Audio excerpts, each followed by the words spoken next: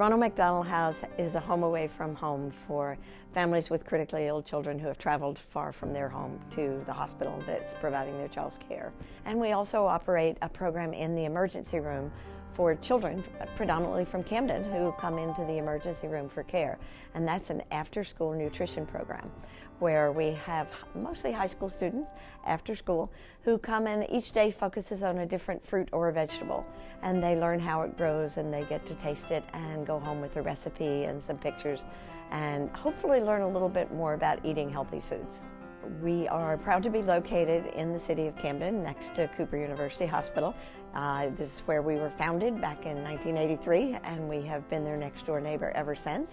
As president of the House, I am privileged to meet and serve those families every day. We thrive on volunteers at the Ronald House. We have a staff of only eight and almost 700 volunteers.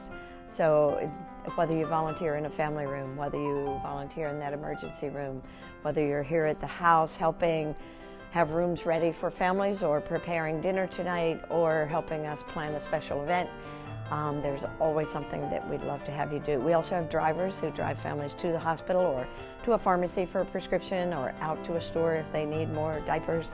Um, so there are hundreds of volunteer jobs. Um, that's the best part of my job is that I meet new volunteers, new donors, and new families every single day. And it's really inspiring to see how much hope and courage both the parents and the children have going through all the different illnesses that um, they're here to be treated for.